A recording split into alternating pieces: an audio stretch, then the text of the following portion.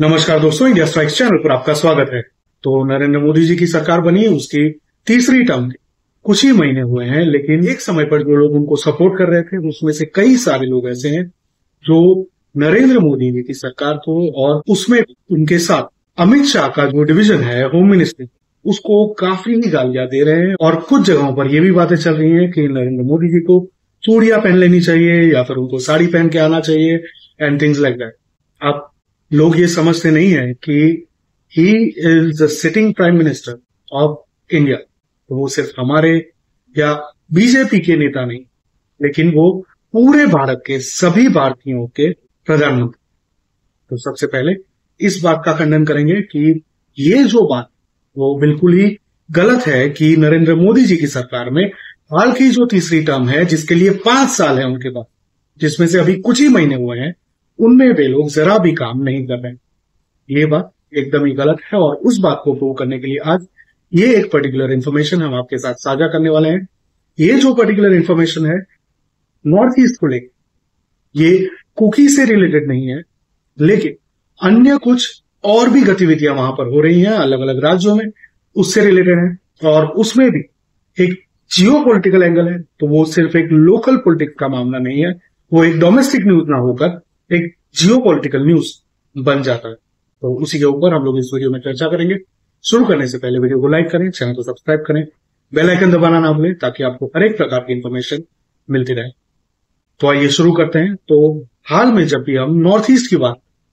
तो ज़्यादातर भारतीयों के दिमाग में एक ही पर्टिकुलर स्टेट आता है, वो है मणिपुर। और उसमें पर्टिकुलरली मेथेज वर्सेस कुकी का जो एक मामला एथनिक क्राइसिस के तौर पर खड़ा किया गया है जो कि ओरिजिनली कुकी वर्सेस मेते नहीं है, वो एक पूरा ही अलग मामला है, जिसके बारे में हमने आगे कई सारे वीडियो में बात की है। उसको एथनिक कॉन्फ्लिक्ट के तौर पर प्रेजेंट किया जा रहा है। लेकिन जब हम बात करते हैं नॉर्थ ईस्ट की तो नॉर्थ ईस्ट में ऐसे कई सारे राज्य हैं, और उन सभी राज्यों में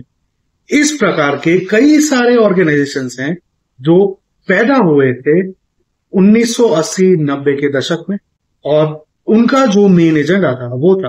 भारत से अलग होने की। अब उसी पर्टिकुलर दशक में क्यों हुआ था? तो उसके पीछे भी कई सारे इश्यूज़ हैं, खास करके सेंट्रल गवर्नमेंट को लेकर, खास करके जो एडमिनिस्ट्रेशन था उस समय पर, उसको लेकर और जिस तरह से इन राज्यों को इग्नोर किया गया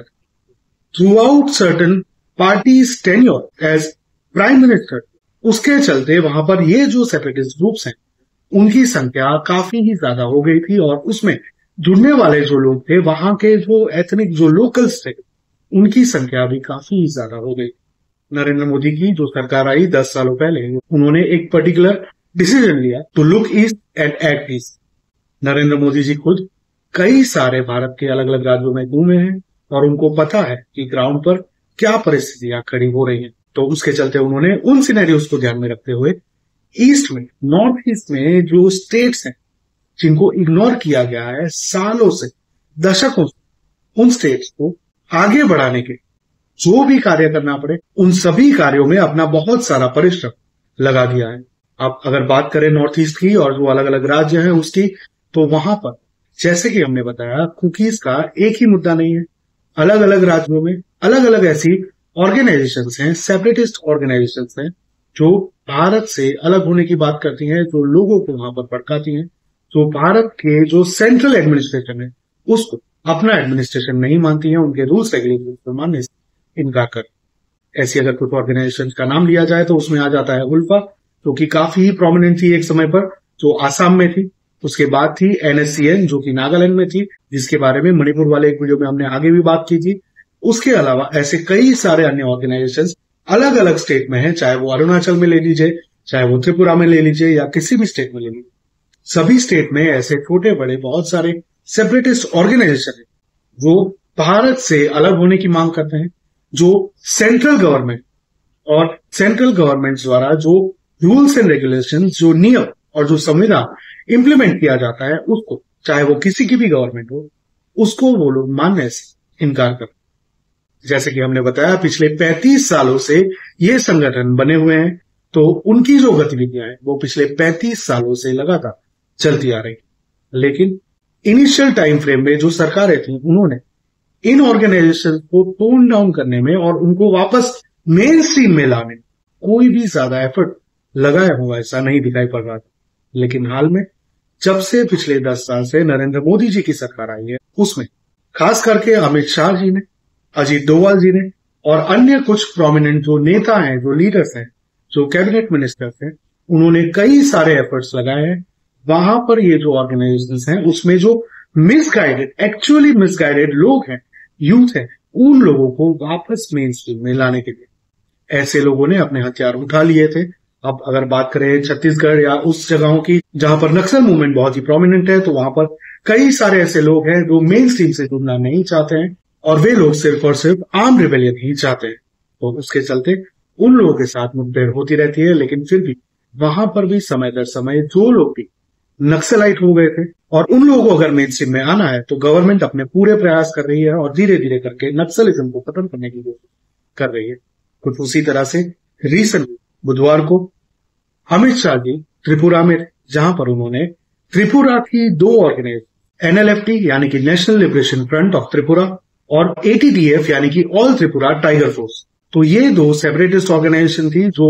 1989 में बनी थी। और 1990 में बनी थी। एनएलएफटी सबसे पहले बनी थी और जो उसके रूट्स है, वो ये बताया जा रहा है, जैसे कि एक बीबीसी की रिपोर्ट है, उसको हम यहाँ पर कोट कर रहे हैं कि बीबीसी की साल 2000 की एक रिपोर्ट के अनुसार ये जो एनएलएफटी बना था, वो वहाँ पर एक बैप्टिस्ट चर्च के बैकिंग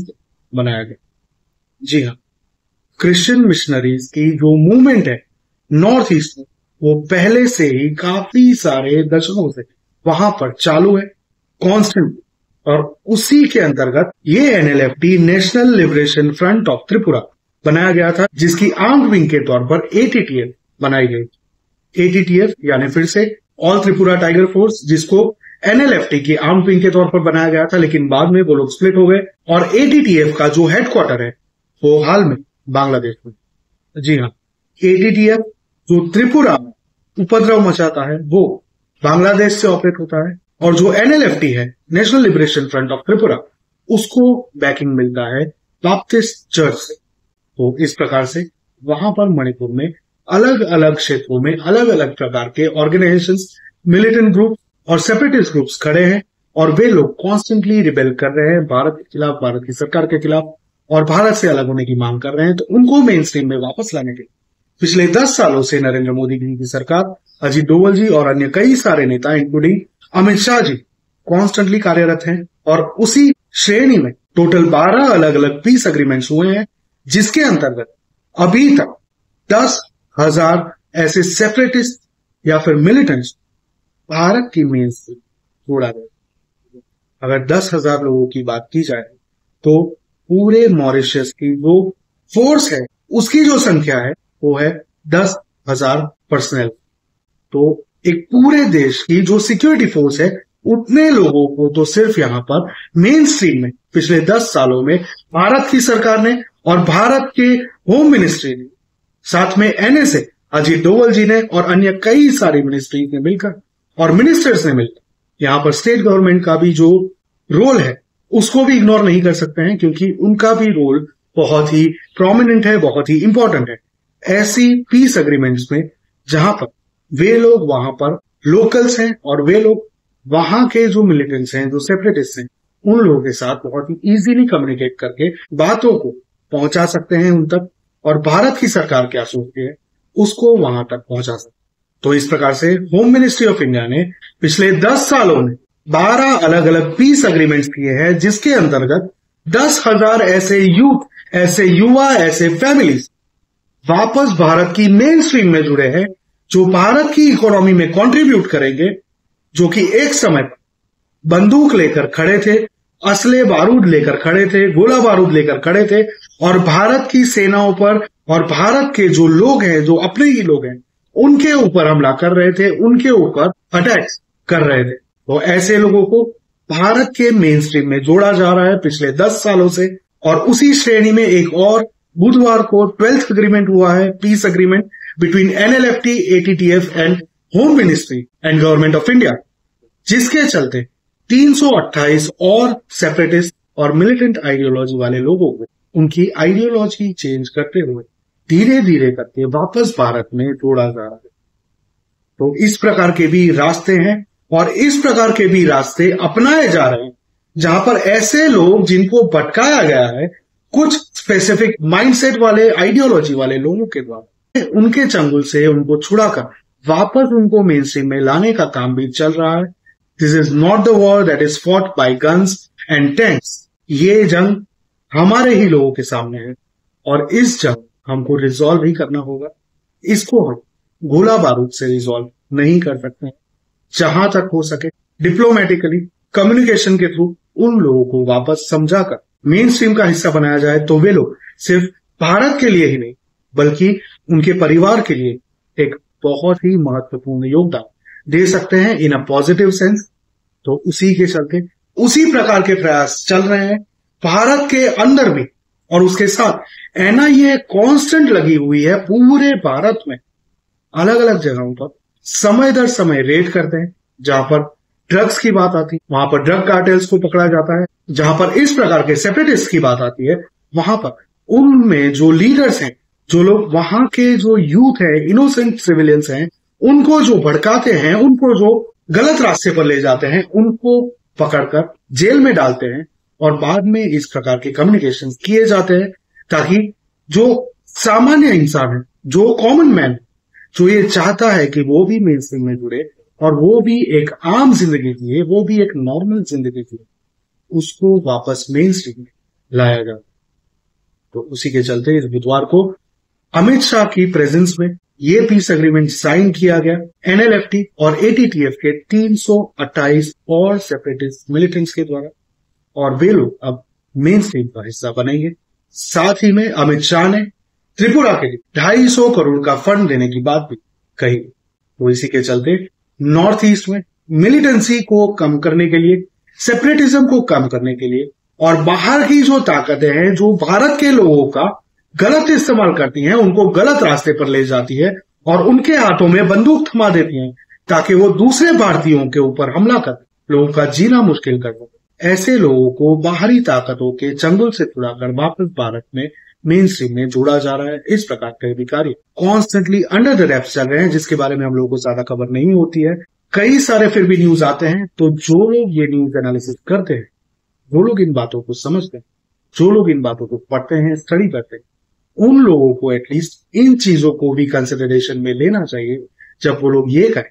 कि नरेंद्र मोदी जी को चूड़िया पहन लेनी चाहिए या उनको साड़ी पहन पार्लियामेंट एक मूवी का रिलीज़ अटक गया या फिर किसी जगह पर। आपने जो चाहा उस प्रकार से नहीं हुआ तो इसका मतलब ये नहीं है कि सरकार अपना काम नहीं कर रही है। हो सकता है कि भारत में उससे भी बड़े और कई सारे मुद्दे ऑलरेडी है। जिसको रिजॉल्व करना और भी ज़्यादा इंपॉर्टेंट है। नहीं तो भारत को टूटने में, जिस अखंड भारत की आप लोग बात करते हैं, उसी भारत को टूटने में देर नहीं लगेगी। उसका प्लानिंग क्योंकि ऑलरेडी किया जा रहा है, बाहरी कई सारी ताकतों के द्वारा। हम लोग सिर्फ़ डीप स्टेट की बात नहीं कर रहे हैं, उसमें पाकिस्तान भी आ जाता है, उसमें बांग्लादेश भी आ जाता है, उसमें चाइना भी आ जाता है और अन्य कई सारे ऐसे देश हैं जो भारत की उन्नति से खुश नहीं है, हमारी आपकी उन्नति से खुश नहीं। तो ऐसे बहुत सारे बड़े बड़े मसले, जो मेन स्ट्रीम मीडिया में नहीं आते हैं तो मेन स्ट्रीम मीडिया जिसको कवर नहीं करते, जिसको रबिश लोग कवर नहीं करते। तो उसी के चलते हम लोग सभी से निवेदन करते हैं कि प्रधानमंत्री, जो कि एक चेयर है, उसको सम्मान दें, उसका अपमान ना करें, और जो भी भारत की सरकार हाल में कर रही है, उसको भी कंसिडरेशन में लें before criticising them on one और द अदर हम होम मिनिस्टर अमित शाह जी का। ये जो स्टेप है, और नरेंद्र मोदी जी की गवर्नमेंट में ये जो ईस्ट स्टेप लिए जा रहे हैं लोगों को मेन स्ट्रीम में जोड़ने के लिए नॉर्थ ईस्ट के सभी राज्यों को मेन स्ट्रीम में जोड़ने के लिए, उसकी हम सराहना करते हैं। उसके लिए हम नरेंद्र मोदी जी को और उन सभी लोगों को, चाहे वो अमित शाह जी हों, अजीत डोवल जी हों, या कोई भी अन्य स्टेट लीडर भी क्यों हो, चाहे वो कांग्रेस से हो, बीजेपी से हो, या कोई भी अन्य पार्टी से हम उन सभी का साधुवाद करते हैं क्योंकि बात भारत की है क्योंकि बात आप क्या सोचते हैं, ये हमें कमेंट में ज़रूर बताएँ, वीडियो को लाइक करें चैनल को सब्सक्राइब करें, और देश और दुनिया की अलग अलग खबरों को जानने के हमारे साथ व्हाट्सएप के माध्यम से और एक्स के माध्यम से जुड़े। लिंक नीचे डिस्क्रिप्शन में दिया गया है। मिलेंगे अगली खबर में। तब तक के लिए जय हिंद, हर हर महादेव।